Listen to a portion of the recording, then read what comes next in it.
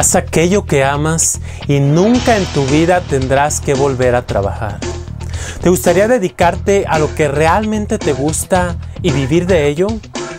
Hola, soy Víctor Toscano. Bienvenido a este video donde te voy a ayudar a descubrir tu propósito de vida.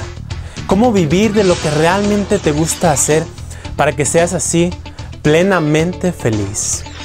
Vamos a tomar el ejemplo de dos jóvenes. El primero de ellos, su papá era ingeniero, se le daban las matemáticas y obtenía buenas calificaciones en su carrera universitaria. Al salir no tuvo problemas para encontrar trabajo gracias a los contactos de su padre. El segundo de ellos no tuvo unos padres que tuvieran una carrera universitaria. Ellos simplemente se mantenían de una tienda de abarrotes que tenían. Él no era tan bueno en matemáticas, pero iba disfrutando lo que aprendía.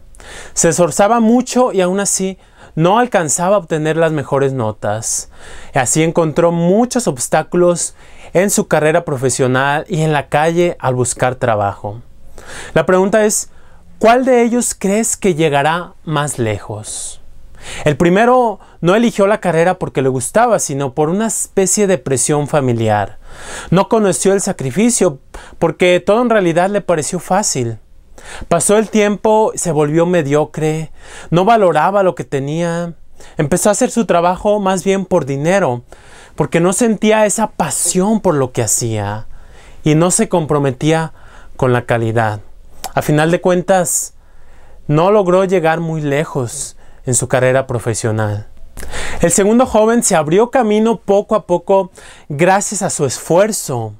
Empezó ganando muy poco, pero disfrutaba cada día de trabajo, se, entregaba al 100% y su calidad lo recomendó. Poco a poco consiguió un trabajo y un sueldo mejor. Al final terminó por convertirse en un profesionista muy reconocido y las mejores empresas querían contratarlo, ofreciéndole un excelente salario por tenerlo de su lado. Así llegó a ganar mucho dinero, pero sobre todo lo más importante es que era completamente feliz. Ser feliz en lo que haces es un indicio de que estás realizando tu propósito. Por eso ahora quiero preguntarte, ¿eres feliz haciendo lo que haces?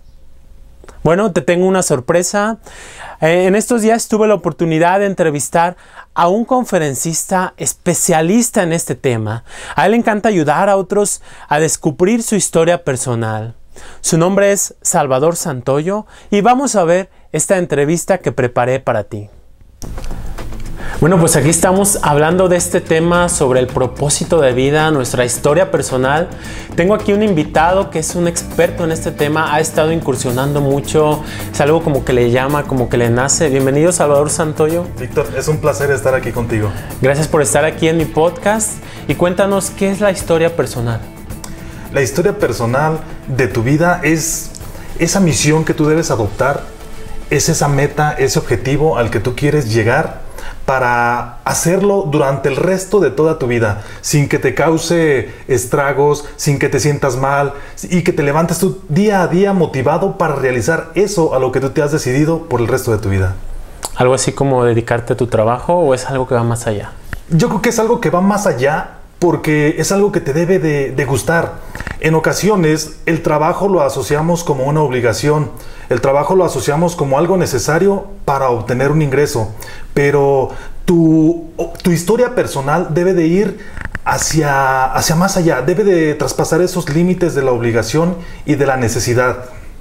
Significa que, por ejemplo, si yo ya encontré mi historia personal, ya estoy en mi propósito, en mi misión de vida, ¿va a llegar el lunes en la madrugada y no me va a dar pereza levantarme? Sí, imagínate que llegue el lunes y tú te dediques exactamente a lo que quieres hacer y que llegue ese día y te levantes con ánimo. Es más, que te levantes más temprano, que te arregles eh, tu aseo personal más rápido y que vayas en camino eh, ya queriendo estar haciéndolo a lo, que a ti te gusta, a, lo que tú te dedicas, sin la flojera, sin el cansancio que provoca los días lunes eh, más que ningún otro día, porque te levantas con una pesadez, porque vas a hacer algo que ya se volvió una costumbre una rutina y que lo hace solo como comentaba pues para obtener algún rédito o algún resultado económico.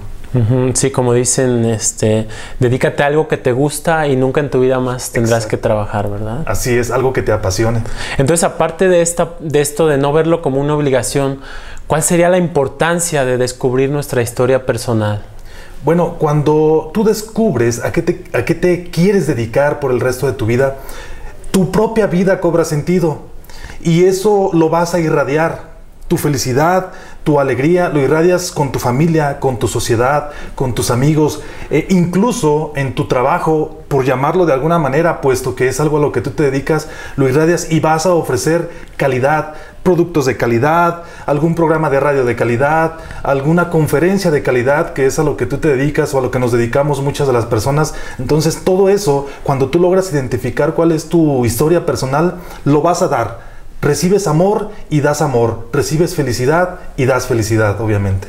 Entonces la importancia ahí sería que tendrías el éxito prácticamente garantizado en tu vida, ¿no? Te iría bien toda tu vida, ganarías mucho dinero, aun cuando el dinero no, no, sea tu principal motivación, ¿verdad? Así es, y lo más importante es que logras tu propia realización personal. Entonces, ¿qué le recomendarías a un joven que a lo mejor todavía no ha decidido a qué se quiere dedicar el resto de su vida? ¿Qué le recomendarías para elegir una carrera, por ejemplo? Mira, la principal recomendación que yo les puedo hacer, Víctor, es que se generen una pregunta. Eh, escuchaba por ahí en algún programa de radio que cuando tú te haces las preguntas correctas, las respuestas llegan por sí solas. Cuando vayan a decidir una carrera que es la que les va a marcar el resto de su vida, deben de hacerse la pregunta y que es la siguiente. ¿A qué me quiero dedicar yo? ¿Qué quiero hacer yo si el dinero no me importara?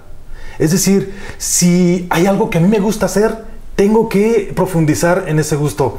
Hablaba, por ejemplo, una persona que no sabía qué dedicarse y sin embargo le encantaba los caballos, andar a caballo, este, estar en, su rancho trabajando con los caballos. Se acercó a una persona le dice, oye, es que no sé a qué dedicarme. Y esta persona le dice, pues ¿por qué no te dedicas a ser maestro de equitación? ¿Por qué no te dedicas a mantener caballos en, de otras personas? Eso, además del dinero, te va a dar una realización personal. Entonces, y yo creo que los jóvenes deberían de hacerse siempre esa pregunta, ¿no? De a qué me quiero dedicar el resto de mi vida si el dinero realmente no me importará. A veces también lo que me he dado cuenta que sienten como la presión de sus padres o de ciertos familiares de elegir cierta carrera, ¿no? Y ellos a veces se dejan llevar por eso y se olvidan de lo que el llamado que sienten adentro, ¿no? ¿Qué pueden hacer al respecto? Fíjate, te voy a poner un claro ejemplo. Y este ejemplo es muy personal. Cuando yo me vine a estudiar a esta gran ciudad, eh, mi carrera universitaria, yo venía por el motivo de romper ese círculo vicioso de que cuando las personas no tienen el dinero para estudiar, no pueden hacerlo. Cuando yo logré entrar a la universidad, era una carrera que no me llenaba, y lo digo sinceramente, no llenaba mis expectativas, pero tenía que romper ese círculo vicioso. Cuando yo me vine, mis padres me apoyaron, mi familia me apoyó, mis amigos me apoyaron, entonces yo no podía defraudarlos. Yo acepté ir en contra de mis principios y de mi propia realización personal para no defraudar a la sociedad. Y eso es algo que no les recomiendo que hagan porque Créanme, después nos cuesta muchísimo trabajo volver nuevamente al camino al que nosotros queremos dedicarnos. Sí, y bueno, yo creo que a pesar de eso, nunca es tarde, ¿verdad? Aunque ya llevas, lleves cierto camino recorrido en alguna carrera profesional, nunca es tarde volver a encontrarte lo que realmente veniste a hacer aquí. No, así es, fíjate que voy a ponerte un ejemplo también personal. Eh, cuando yo, después de 10 años, de haber terminado mi carrera universitaria y de estar trabajando en lo que yo estudié, en el ramo que yo estudié, que es ingeniería electrónica, llegó un momento en que recordé mis objetivos porque yo siempre había querido ser conferencista, un buen conferencista y un buen locutor. Entonces, camino a mi casa, un día manejando en mi automóvil, yo dije, es que debo retomar mis objetivos, debo de retomar esos sueños que yo tenía. Y así, como por arte de magia, escucho un anuncio en la radio que ofrecían cursos de locución. Y eso, yo también creo en las señales, creo en las diosidencias que nos van marcando el camino. Cuando nosotros decretamos nuestros sueños, el universo confabula de tal manera para que nosotros logremos esos objetivos. Así es, entonces hay que estar pendientes de cada una de esas señales, de estar siempre en la búsqueda de lo que realmente queremos hacer. Y bueno, en tu caso tú ya encontraste tu verdadera historia personal, es decir, es algo que se encuentra, ya te quedas con eso o te mantienes constantemente en la búsqueda.